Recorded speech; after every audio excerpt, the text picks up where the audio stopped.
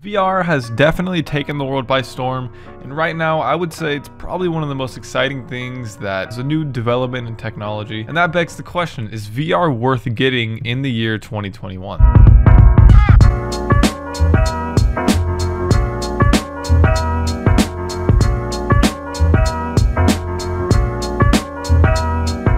Now, if you're coming from this video just from Amazon and you already have a VR headset in your Amazon cart and you want this to be the last video, you know, just as a decider, uh, I'm going to say yes. Yes, get it. Uh, depending on which headset you have, I guarantee, I can't guarantee but I almost guarantee that you're going to have a good time with it and you're going to enjoy it.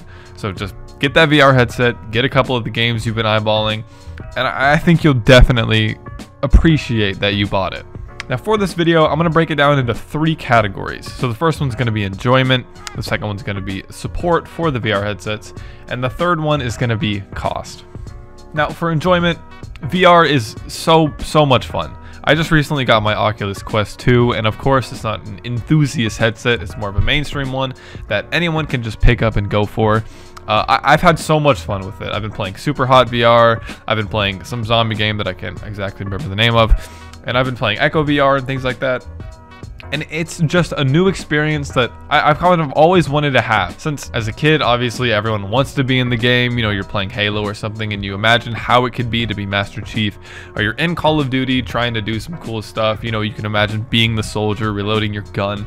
And it kind of gives you that feeling. It's not a one-to-one -one replication, but you're standing, you're moving, you're shooting the gun yourself it's just a new experience, especially if you're a nerd. It's something that I can't recommend enough. And there's so many new experiences that you can have with this. Like, I mean, you can be a wizard if you wanted to. You can be a soldier, like I said before. You can fly. You can be a pilot. You can do all these crazy things in VR that, that you weren't able to do before, just with a mouse and keyboard or just with a controller. It just opens the door to new opportunities that regular consoles and computers couldn't do alone. Now, with that, that brings me to my next point, which is support. Now, of course, when VR first came out, they were super expensive and there wasn't a lot of games for them because it was kind of a new technology. And of course, when new things out, out, people are kind of scared to test things out and try to make their own stuff for it. But now VR has kind of come out of its infancy and there's a lot more support for it. There's a ton of new games coming out. Like I said, Echo VR, which is actually a free game on the Quest. Uh, things like Beat Saber, which are incredibly popular games and a ton of different stuff. I know Medal of Honor made a game for VR and there's a lot more games coming out. And of course, Half-Life Alyx, which uh,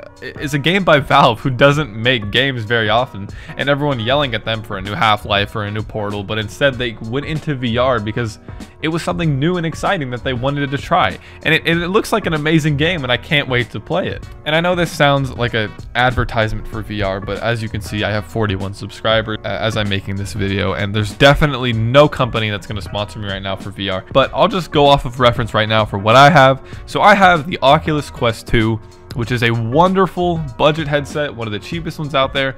Uh, usually the cheaper ones are going to use your phone as the main computer. This one doesn't. It has its own computer inside. It's a very nice, well-built, robust headset. It's fairly comfortable. Not the most comfortable thing I've put on my head, but it's a VR headset and the experience is fine by me. Uh, it's just an amazing headset. Two controllers, and the headset itself and a charging cable is pretty much all you get and that's really all you need because everything you just do off of your phone and it's a wonderful thing. But this isn't an ad for an Oculus Quest. You just want to know if you if you should get your VR headset. So that brings me to my next point, which is cost. Now, VR when it started, like I said, was very expensive. But now, since the technology is getting more and more common, and a lot of people are more using VR and stuff, they're able to make this headset that I got for around $300 on Amazon, which is absurd for what it is. And obviously you don't have to get the Oculus Quest like I did. It's definitely the most popular one and you do have to sign up with Facebook. Uh, I, I would not recommend doing that. If you have a Facebook account, don't use your Facebook account. I made a new one just for this. Uh, I don't condone Facebook's information tracking trash. I hate it and I think it's terrible. And the games on it is, are relatively cheap. I got the zombie game that I was talking about for $10 and I got Superhot VR for $17 on a sale. And the most expensive I've seen a game is $40. And compared to the first party titles that come out that are $60 and these insane amounts for the deluxe editions, $80, $100, $120 for the special edition.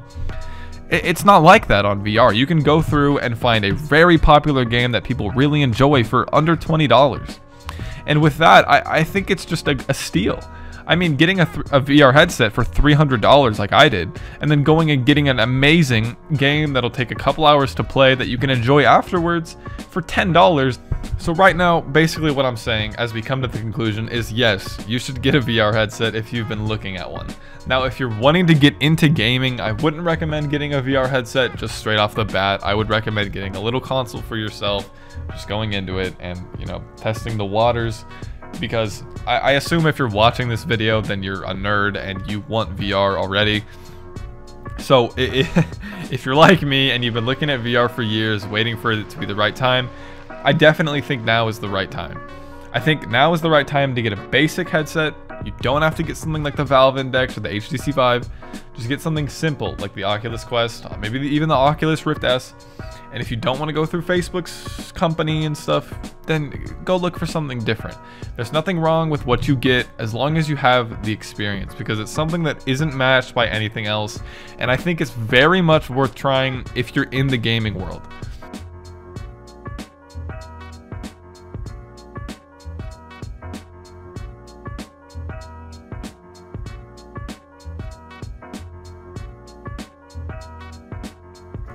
Hey guys, I just wanted to throw this at the end of the video.